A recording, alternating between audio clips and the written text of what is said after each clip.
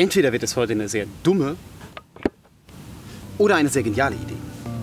Ich finde es erstaunlich, wie nah das manchmal beieinander liegt.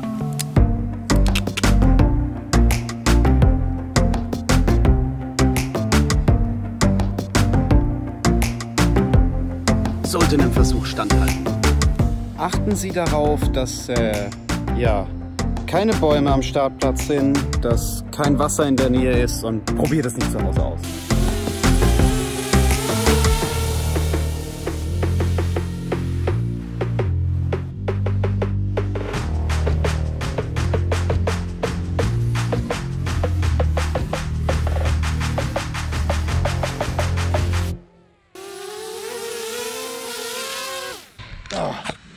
Okay, ähm, es war keine blöde Idee. Grundsätzlich ist es bestimmt kein Problem, das zu verwenden. Aber ich glaube, ich glaube nicht, dass das richtig gut funktioniert. Also, ich sag mal, sie könnte es tragen, aber da sind so Sensoren und die verdecke ich leider. Okay, mein eigentlicher Plan war, ein Video davon zu machen, wie die Drohne an sich fliegt. Also irgendwie, ich weiß nicht, sowas in die Richtung. Hätte bestimmt cool ausgesehen, aber die sind dafür einfach nicht gemacht. Schade. Gut. Trotzdem, normal fliegen geht immer noch.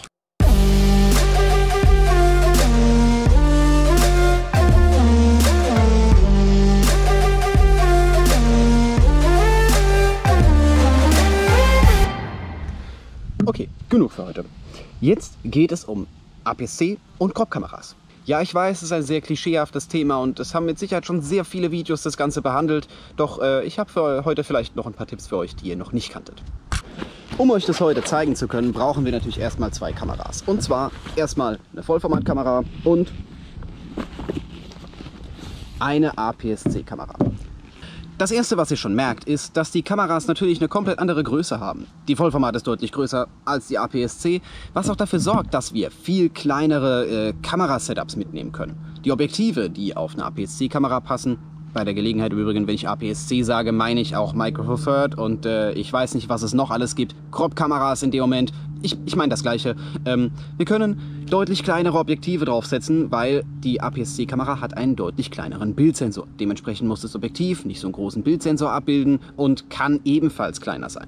Weniger Glas, das macht das nicht nur günstiger, sondern deutlich kleiner, deutlich leichter. Vollformat hat allerdings noch ein paar andere Vorteile und darum geht's gleich. Okay, bevor wir jetzt anfangen mit Vor- und Nachteile, welche Kamera ist für wen das Beste oder sowas in die Richtung, möchte ich erstmal den theoretischen Unterschied zwischen diesen beiden Geräten erklären. Und zwar zwischen der Vollformatkamera und der APS-C-Kamera. Auf beiden Kameras ist aktuell die gleiche Einstellung, Blende 5, 50 Sekunde und das gleiche Objektiv, also nicht das gleiche Objektiv, aber zumindest einmal die gleiche Brennweite. So, was für einen Unterschied sehen wir? Die Kamera ist deutlich näher dran. Nicht, weil ich irgendwie näher rangezoomt hätte oder sowas in die Richtung, sondern weil sie das Bild ein kleines bisschen zuschneidet. Wir haben einen kleineren Bildsensor und trotzdem Objektive, die darauf ausgelegt sind, naja, auf dieser Kamera zu funktionieren. Heißt nicht, dass das äh, nicht funktionieren würde oder sowas, sondern die Brennweite wird halt anhand von Vollformat angegeben. Das äh, ja, gibt gewisse Einschränkungen, gibt aber auch deutlich mehr Möglichkeiten. Doch bevor ich zu den Vor- oder den Nachteilen komme, es gibt kein wirkliches besser oder schlechter.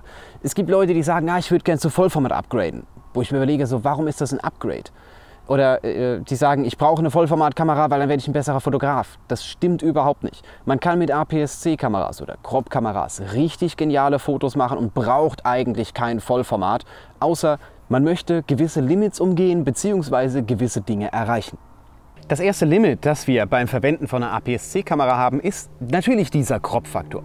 Das Bild ist ein bisschen zugeschnitten. Normalerweise, jetzt beim Beispiel von der Canon 80D, die ich hierfür verwende, ist es äh, ja, ein Crop-Faktor von 1,6. Das heißt, die Brennweite, die ich hier verwende, das äh, 1740 auf 17 mm, ist eigentlich eher, ja, sind eher 30 mm als, als würde ich auf meine andere Kamera ein 30 mm Objektiv machen. Das sorgt dafür, dass wir nicht ganz so weitwinklig gehen können, wie wir es eigentlich mit einer Vollformatkamera könnten.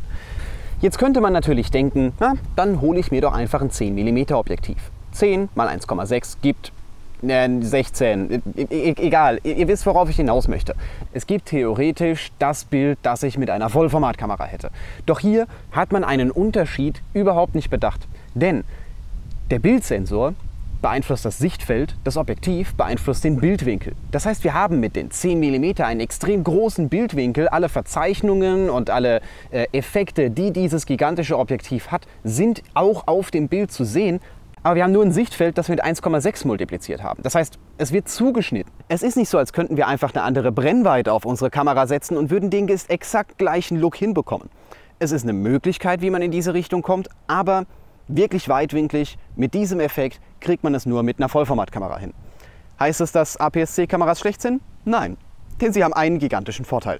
So, dass ihr den direkten Unterschied mal seht, das ist äh, das gleiche Setup auf Vollformat.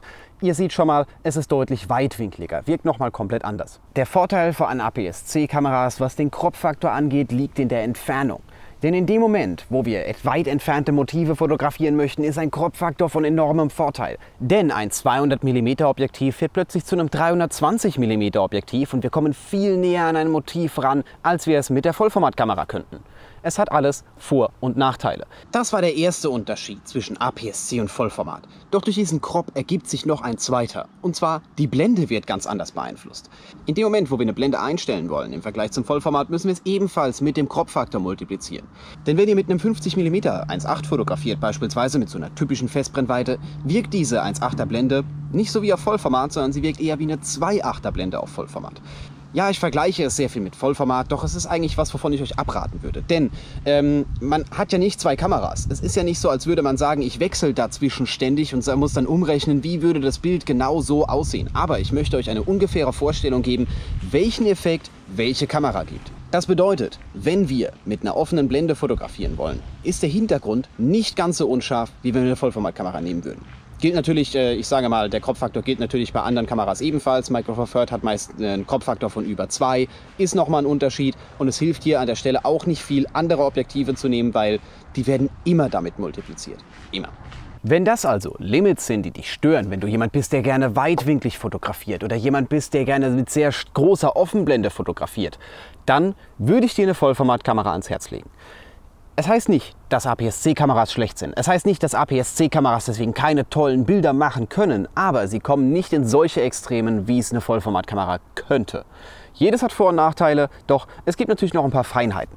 Die Feinheiten lassen sich erst einmal im Preis wiedergeben. Vollformat ist normalerweise teurer als eine Crop-Kamera, liegt daran, dass die Sensoren deutlich größer sind und äh, ja, dass die Zielgruppe nicht ganz so groß ist und dementsprechend hebt man den Preis an. Ansonsten haben wir natürlich noch das Thema Gewicht. Ich hatte es vorhin schon erwähnt. Mit einem Crop-System ist man meistens deutlich leichter unterwegs als mit einem Vollformatsystem. Vollformatobjektive sind immer schwerer als die, die nur für Crop funktionieren. Ich hätte gerne mal, dass äh, ich ein Crop-Objektiv auf einer Vollformatkamera nutzen kann, aber das funktioniert leider nicht so einfach.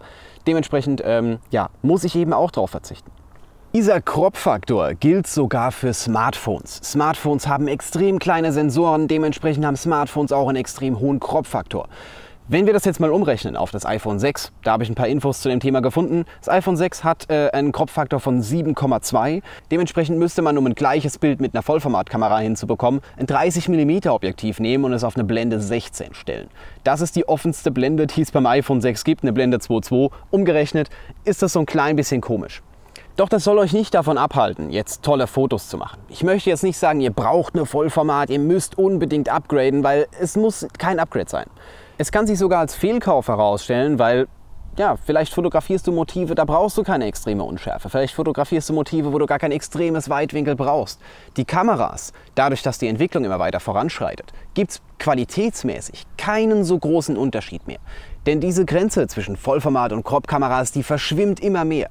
Man kann mittlerweile nicht mehr wirklich unterscheiden, ist es mit einer Crop-Kamera entstanden oder ist es mit einer Vollformatkamera entstanden. Hier ist die, der Unterschied zwischen der Bildqualität nicht mehr ganz so extrem, wie das vor Jahren noch war. Klar, ist normalerweise die Regel. In vielen Fällen kriegt man aus Vollformat deutlich mehr raus, hat deutlich höheren Dynamikumfang und hat eine deutlich bessere ISO-Qualität. Also wenn man den hohen ISO-Wert fotografiert, rauscht das Bild meistens nicht so schnell. Aber die Grenze verschwimmt immer mehr und ich bin der Meinung, dass man mit APS-C-Kameras definitiv gute Bilder machen kann. Man kann mit jeder Kamera gute Bilder machen. Ich sage es immer wieder. Dementsprechend macht euch weniger Gedanken drum, ob jetzt eine größere Kamera der richtige Weg für die ganze Sache ist, sondern überlegt euch, wie ihr mit den Limits, die eure Kamera nun mal hat, die, die hier hat auch Limits. Wenn ich sehr weit entfernte Motive fotografieren möchte, dann wünsche ich mir manchmal eine Crop-Kamera. Doch äh, in der Sekunde ist das gar nicht mal so relevant. Denn Überlegt euch, wie ihr mit eurer Kamera, die ihr gerade habt, geniale Fotos machen könnt. Und wenn ihr irgendwann feststellt, dass es hier ein Limit gibt, weil ihr sagt, hey, ich fotografiere nur Ultraweitwinkel, weil ich gerne Architekturfotograf bin. Und das passt eben da super genial und ich bin ständig limitiert und überlege mir ständig, wie ich das noch besser hinbekomme. Dann ist es vielleicht soweit, auf eine Vollformatkamera zu wechseln. Doch APS-C-Kameras bieten so viele Möglichkeiten, dass man es eigentlich gar nicht braucht. Also ihr merkt, zum Schluss ist es eher die persönliche Vorliebe des Fotografen, das, was er am meisten fotografiert und weniger, wie viel Geld er für seine Kamera ausgegeben hat. Überlegt euch das, denkt drüber nach, schreibt gerne in die Kommentare, was ihr für Meinungen über das Thema habt. Ich denke mal, die meisten werden mit Crop-Kameras fotografieren, weil es super Einstiegskameras sind und weil sie deutlich günstiger sind als die Vollformat-Kollegen. Doch äh, ja, vielleicht fotografiert auch jemand mit Vollformat und es war der Wechsel seines Lebens. Es macht auf jeden Fall einen Unterschied, wenn man mit Vollformat fotografiert, gerade wenn man Unschärfe mag, wenn man Weitwinkel mag. Deswegen fotografiere ich damit. Doch das soll nicht heißen, dass sie besser sind als Crop-Kameras. Es geht einfach um die persönliche Vorliebe. Am Ende vom Tag ist es nur ein Werkzeug und ein Werkzeug, das zum Ergebnis führt. Und das Ergebnis ist das, was wirklich zählt. Okay, das war's für heute. Cool, dass ihr wieder mit dabei wart. Äh, ich wünsche euch noch einen wunderschönen Tag. Schaut vorbei auf videokurs.eu für den kostenlosen Fotografie einmal eins Basic Videokurs. Und äh, ja, wir sehen uns einfach im nächsten Video wieder. Das ist jetzt der, das Problem an Crop-Sensoren. Durch den Crop ist die Kamera so weit weg. Dieses auf die Kamera klatschen, dass es dunkel wird, das kann ich hier nicht machen. Die steht da hinten. Das ist voll der Eingriff in meinen Workflow. Ich finde das unglaublich.